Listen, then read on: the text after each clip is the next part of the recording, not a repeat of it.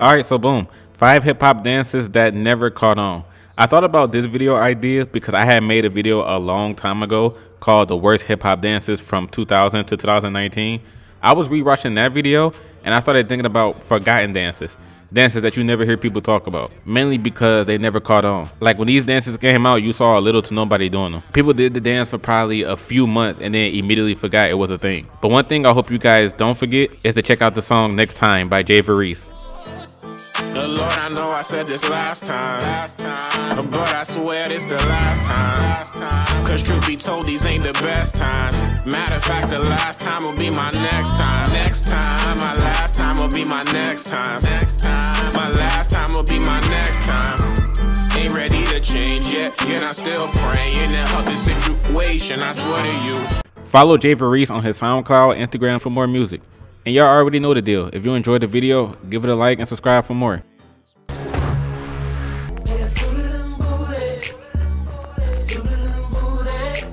So Tooted and Booted was YG's very first single. For the mainstream, this was the very first song a lot of people knew by him. And it also featured a then unknown Ty Dolla Sign. When it first came out, everyone considered him just like a random R&B singer on the song. But years later, people started going back to the track and saying like, "Oh shit, this was Ty Dolla Sign the whole time." And now, considering that this song was a whole decade old, I'm sure most people forgot that YG even made this. Another thing that I'm sure most people forgot is that it was a dance attached to this song. So Tooted and Booted was another way of saying like hit it and quit it, and that's all the entire song is. Young gangster talking about smashing a girl and then not talking to her afterwards because he ain't trying to be in a relationship. So during the song in the video, YG has this part where he says, I tooted to the left, I tooted to the right, messing with me, we gonna do it all night. And he does his little dance right here with it. But that's not what I want to talk about here. Now I'm cheating a little bit with this entry because the dance that goes along with this song wasn't the intent that YG and Ty Dolla Sign had. This is a dance that somebody else made and it ended up becoming popular a little bit, but it didn't last very long. After only a couple of months, everyone looked at the dance and realized how ridiculous it was. A YouTube channel by the name of Wild ENT News created this dance for the song, and if you ask me, the dance is pretty damn stupid.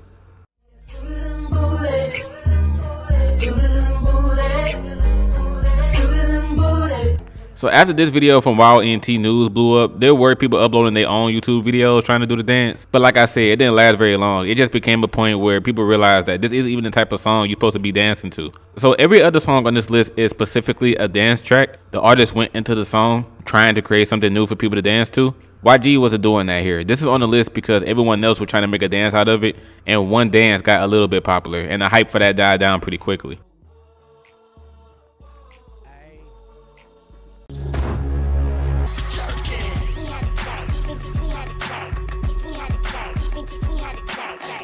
So Teach Me How to Jerk was the second biggest jerking song during the whole wave when the dance was becoming a thing. The first one being You're a Jerk by the New Boyz. And when it comes to Teach Me How to Jerk, overall, it really makes me feel bad for Audio Push. Price Tag and Oktane are honestly some great rappers, but they dug themselves deep into a hole by making such a trendy song. After the jerk movement died down, this was the only hit these guys are known for, and most people can't name a second song by them. But throughout the song, they don't even teach you how to jerk. The song doesn't have a single instruction written in it except for the last verse. In this verse, they both shout out different dances for people to do. So first it's the reject.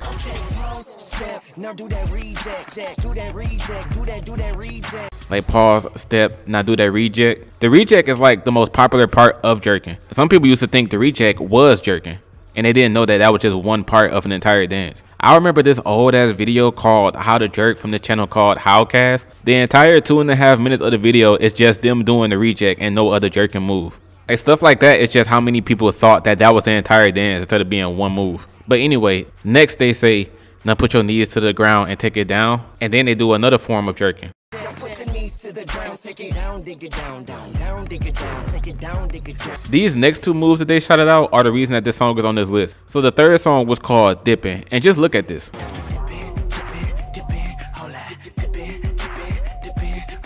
I bullshit you not. I have never seen anyone do this. I used to watch so many jerking dance videos when it was popular, and this dipping thing was never in anybody's arsenal. Nobody had this in their repertoire. This music video was the only time I've seen anyone do this. Y'all know what this dance looks like?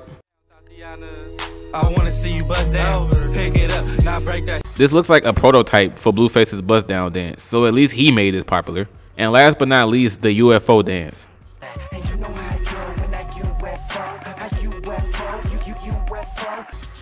no, no, no, no. You can search up any video of people doing the jerking dance and you will not see the UFO. This looks like your typical throw your hands in the air and wave them like you just don't care dance that people did in the 1500s. So I don't know why they took that and called it the UFO, but this also never caught on. So that's why I put both of them on this list. This part of the song always stuck out to me because as many jerking dance videos if I watched back then and even seeing it in person, the dipping in a UFO was never a thing that anyone did.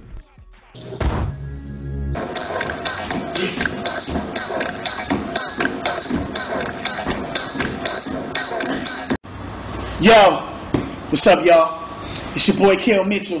Now I know everybody know I like to drink orange soda and all of that. It's been crazy on Nickelodeon, so I got a new announcement. I got a new cartoon coming out. It's called Orange Soda Boy. That's right. So I was chilling with my homeboy Mike back there, aka the Orange Phantom. Holla at him.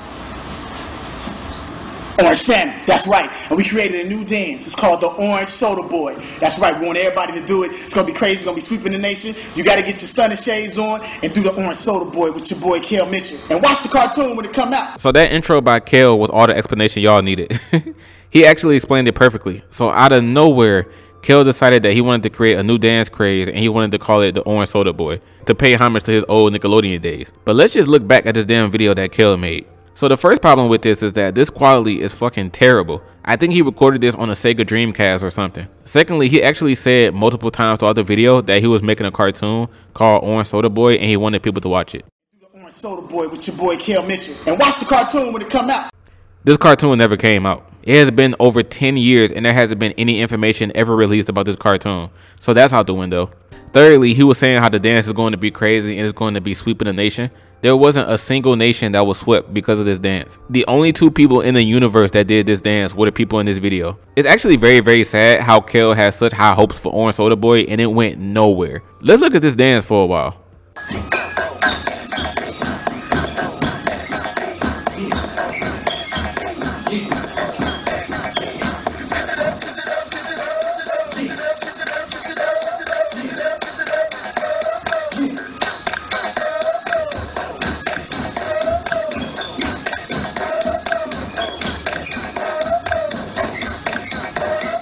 Okay, so other than the twerking part right here, I feel like a big reason why this dance wasn't a thing. This shit requires too much footwork. Ain't nobody trying to do all this. I mean, people did it with Jerkin and Lil Uzi's Futsal Shuffle, but those dances were cool. This just looks like high risk and no reward.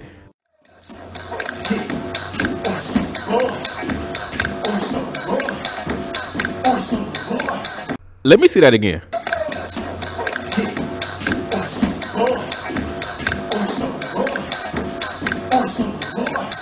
Was that the was that the Superman plus pretending to drink orange soda? He tried to make this a thing? Like ew. Hey, I, I can't take this anymore. It's really depressing seeing a person have such high hopes for something that would take off and then it just goes absolutely nowhere. This is just all around lame and embarrassing that Kel Mitchell even tried to do this.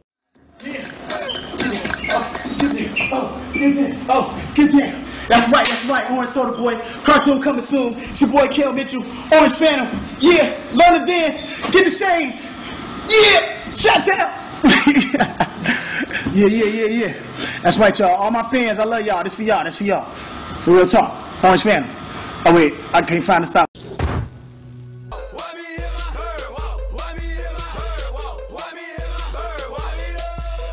So after Soulja Boy had the astounding success of Crank That Soldier Boy, he tried to create a slew of other dances. He had the snap and roll, the Let Me Get 'em, and he kind of succeeded with Dunk, but that song always been like a twerking song for the ladies.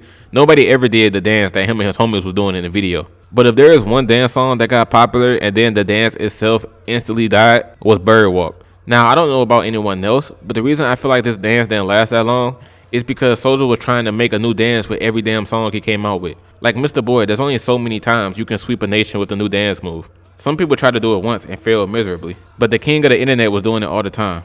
It's a good thing and a bad thing because when you think of Soulja, you for sure think of like four or five dances that he started, and some were more popular than others. For the song, Bird Walk itself, I actually rock with it. Like y'all should have seen Middle School Amiri. This song was hot for me. S O U L J A B Z. Bird walk, ring my dance, make it look easy. Like, fight me. This song is a classic. But yeah, when it comes to Sir Boy, he had a few other dances here and there, but nothing was ever going to beat the original Crank That. And speaking of Crank That,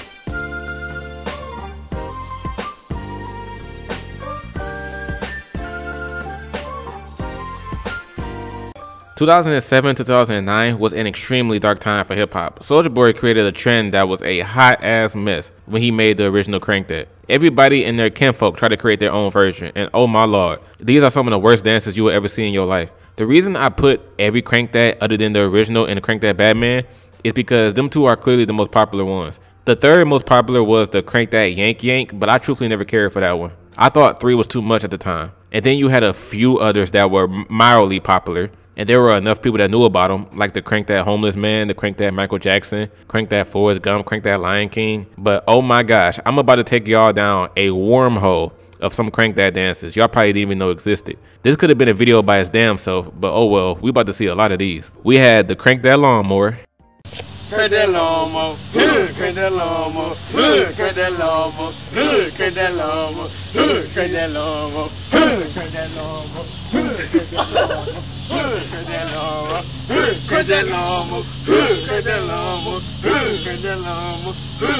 Lawnmower. the Crank That Jump Rope,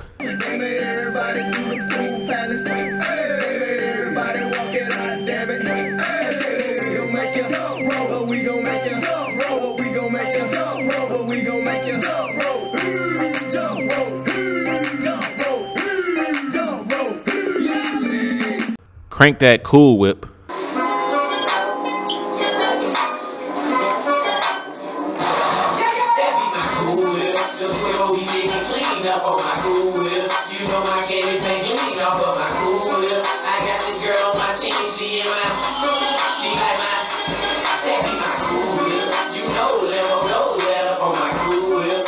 Hey, actually, actually, hold on. I'm not, I'm not even gonna lie. This shit kind of nice. the crank that cool whip kind of nice. Crank that Aquaman.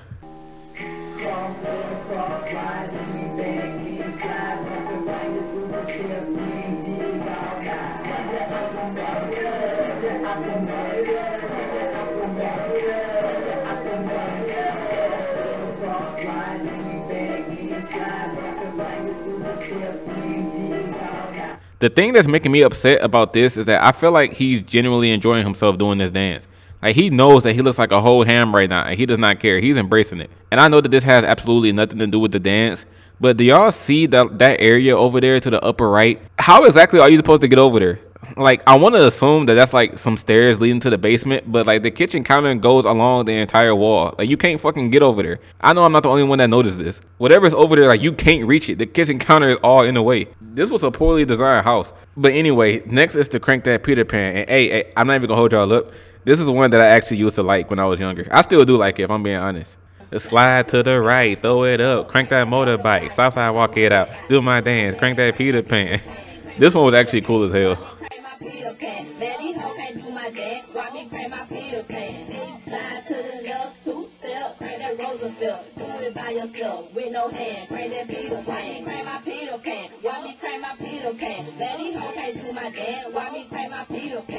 we had to crank that Urkel.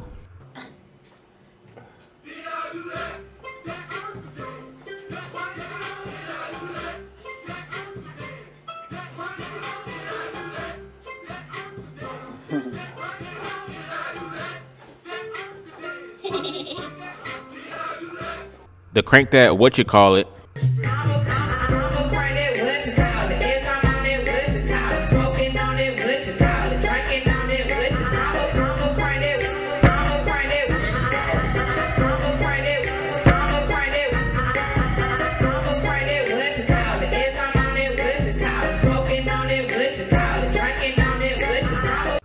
crank that Roosevelt, which was which was hella suspect if I'm being honest. I don't know what these niggas were trying to do.